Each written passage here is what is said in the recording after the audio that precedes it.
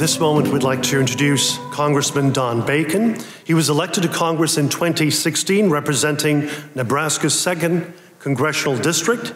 And during his uh, career in the U.S. Air Force, Congressman Bacon specialized in electronics, warfare, intelligence, and reconnaissance.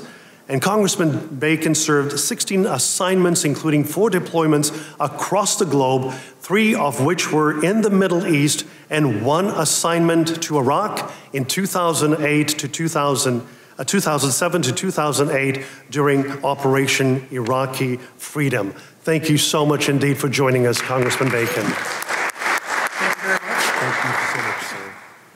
Don't you love, uh, we call him DVO. He's got great passion and he's, and he's a hoot to work with. He's got a lot of, a lot of charisma, as you can tell. Uh, it's an honor to be here with you tonight, and I want to share my story. I became pro Israel at the age of roughly five years old. Why was that? Well, my dad had daily devotions. I was the oldest of nine. I didn't have nine brothers and sisters at the time I was five. But I remembered I said, I don't really like doing these daily devotions every day, but dad was good.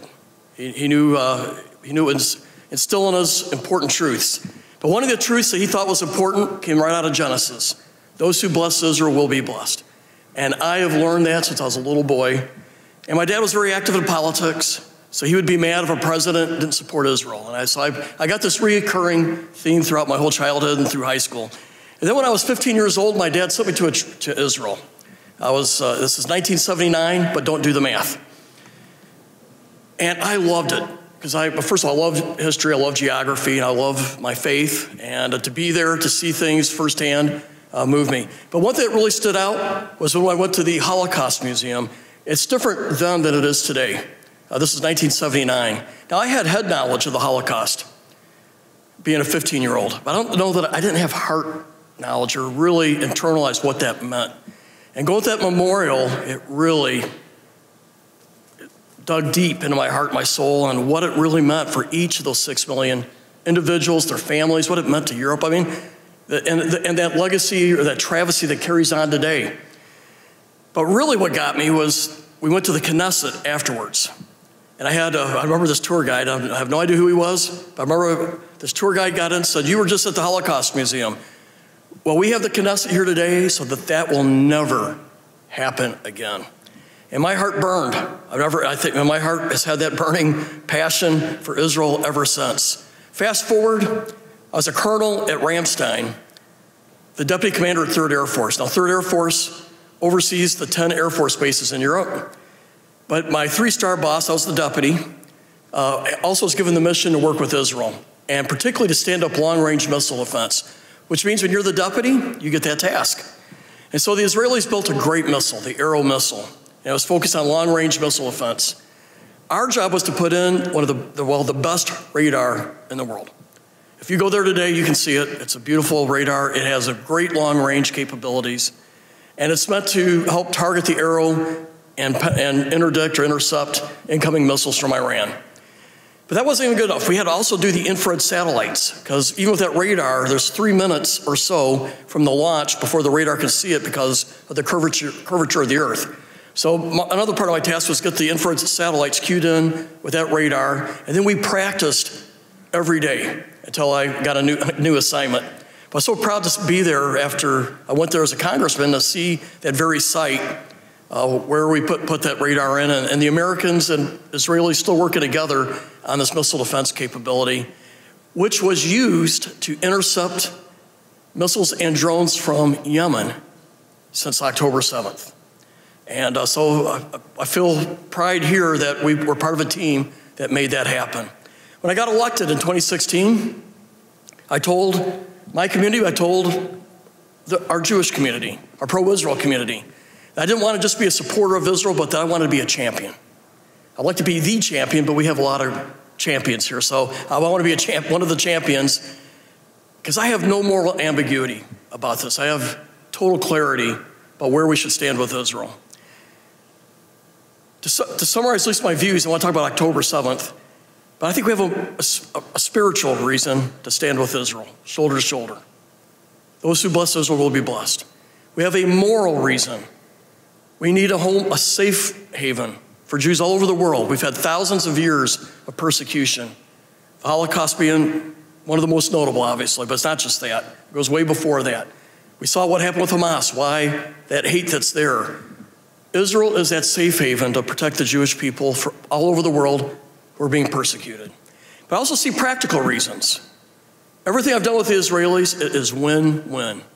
When we sell military capabilities to Israel, they make it better. And then, they, then we get those technology gains back. We have an iterative back and forth on capability. Some of our best seekers on warheads today were originally ours but the Israelis improved, and now they're much better.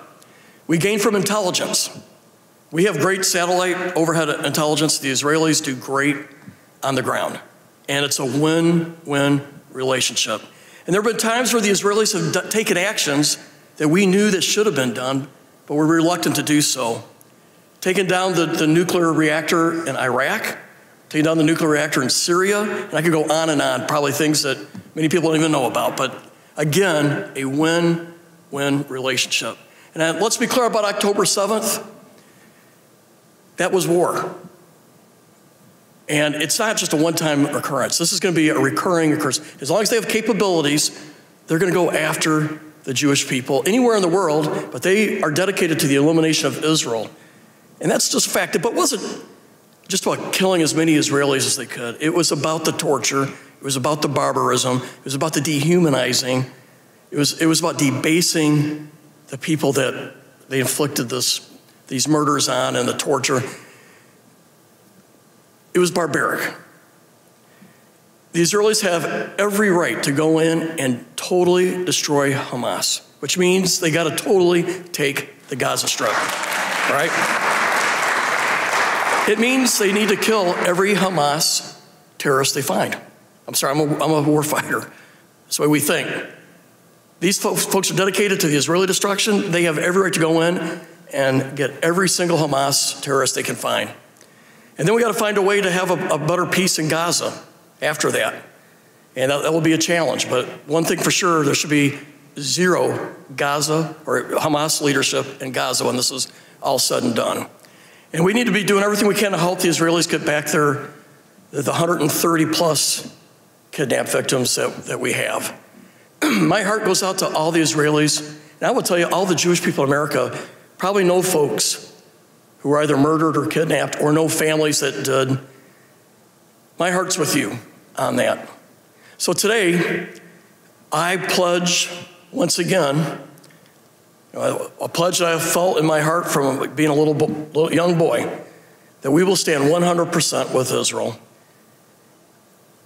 And we will defend Israel in the courts or in just in the fight for the human mind. Because right now, all this media about what's going on in, in Gaza City this, with the bombings, let's be clear the Israelis are following the rule of law.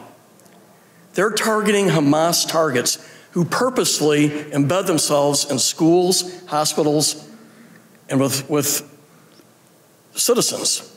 They're using the citizens as human shields.